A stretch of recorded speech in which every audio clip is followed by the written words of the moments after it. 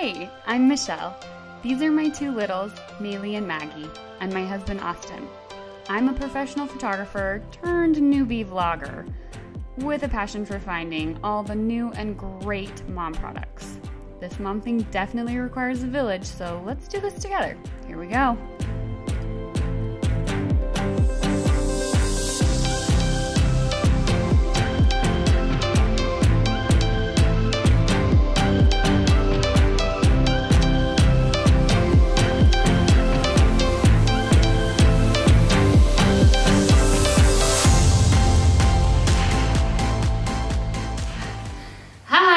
Welcome to my first vlog. I'm Michelle and this is Maggie. We are going to be talking about the DockATot and the Snuggle Me today. So we're going to start out with similarities between the two. They are obviously both the type of lounger. They are specifically for the same age range, zero to eight months, zero to nine months, more or less. We used our Snuggle Me for like supervised naps pretty regularly. And I know a lot of people who use the DockATot for co-sleeping because it just creates an extra barrier between like you and the baby. Um, otherwise, it's meant for things like around the house, playtime, tummy time. Uh, I've seen people use it for like a breastfeeding pillow, kind of whatever you want. These are not recommended for unsupervised sleep. They are not meant to go in a crib. They're not meant to go in a bassinet. They are meant for supervised using usage only. Um, anyways, okay, so let's talk about the differences between the two. So first let's talk about the DockATot. So with the DockATot, the first things you'll notice are pretty obvious. The DockATot has these on the sides and they are for you to add like a play bar in to make it more of like a play environment. It does still have the normal handles, which you have a handle on the side. Then you also have a handle on the top right here which is super nice. I do wish the Snuggle Me had ha handles. The other thing that is a big difference about the two that the DockATot has is the DockATot opens on the bottom um, so their feet can come out of it and it just clips shut initially. Your next big difference is gonna be this pad here on the bottom. The DockATot you'll notice is completely flat, top to bottom. It's a flat surface and the pad provides padding underneath it. So that means wherever you go, whatever surface you put the baby on, you're gonna have padding underneath you, which is nice. The other major difference with the DockATot is that it is not as snuggled in, for lack of a better word. There is a little bit of space depending on how big your baby is. So while they are in like a confined space, they're not gonna feel hugged, in my opinion.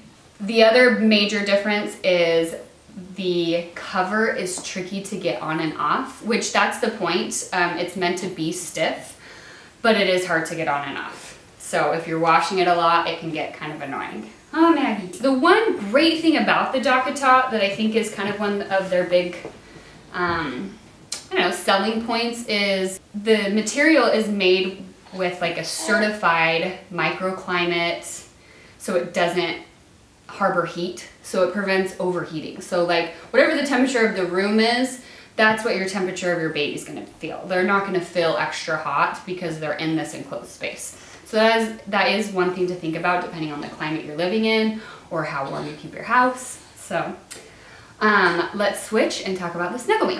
Sorry, one more thing with the DockATot. The DockATot price point is right around $200 just for the lounger and a cover.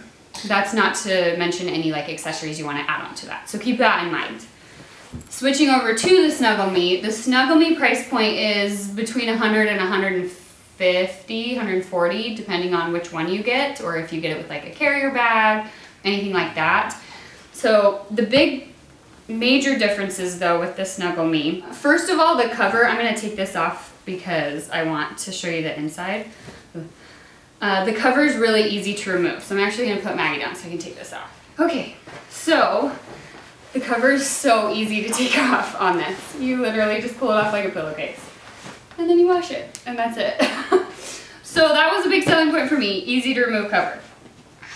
Um, the next thing that is patented about this that makes this its own unique lounger is the center of it is actually not flat on one side. It's a suspended center. So when you lay the child in it, so here I'll show you. The sides actually hug in to the baby as the baby like flattens out the bottom. Hi, so fun to be you, huh? Um, so the sides are really hugging her in. Huh, you like to be hugged? The next difference though is that it doesn't have padding in the center. So whatever surface I lay her on is the surface that I get. That means if I lay her on a hardwood floor, then she's gonna feel like she's laying on a hardwood floor with a blanket. um, it does not have any handles or anything like that. It does have some extra padding right where the head should be, so that helps a little bit, but not much.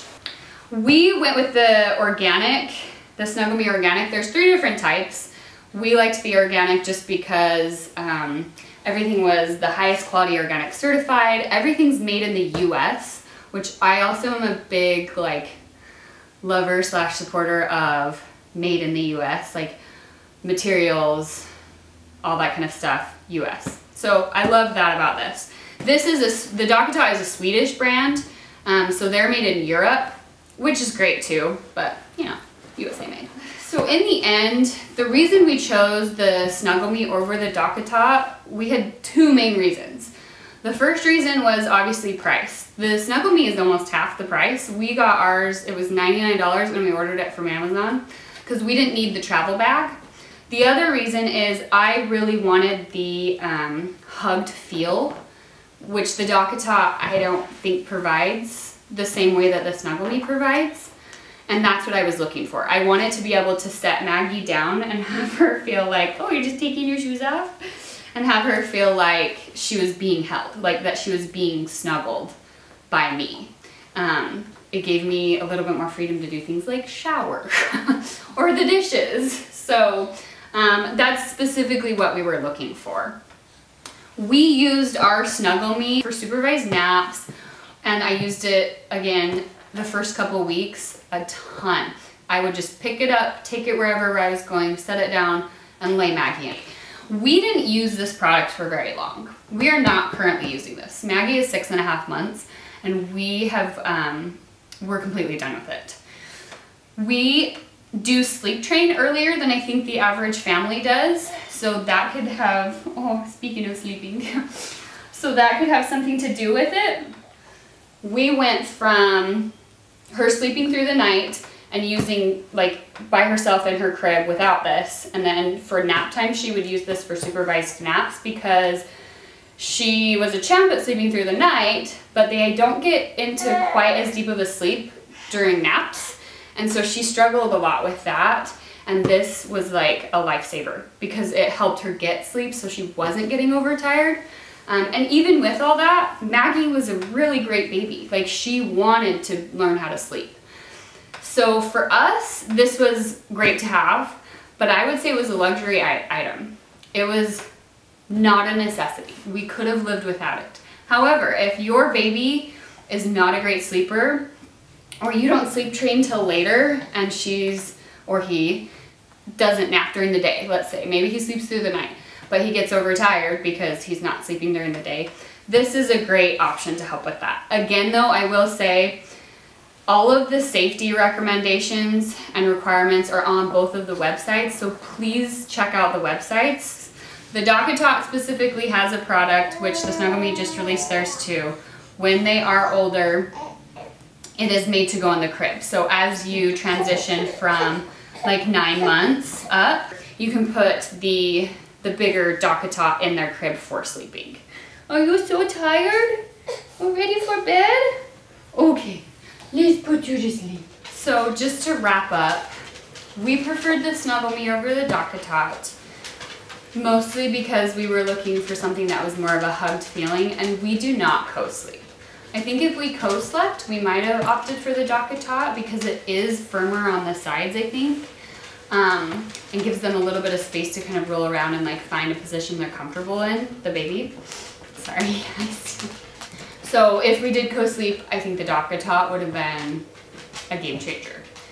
However, we did not co-sleep and we were using it strictly for lounging and supervised naps. And I feel like the Snuggle Me just performs better for that because it does hold them in and give them that snuggled sensation. Oh, hi, Stud. Oh, hi. You say hi to everybody? Hi. Oh, these are my dogs.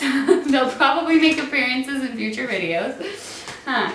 This is Stud and this is Kiko and they are big fans of the lounger because they think they're their beds. So thank you so much for tuning in. I hope that this was helpful and comment below if you have any other questions or comments about your DockATot or Snuggle Me. What did you love about it? Did you feel like it was a required piece of baby registry item?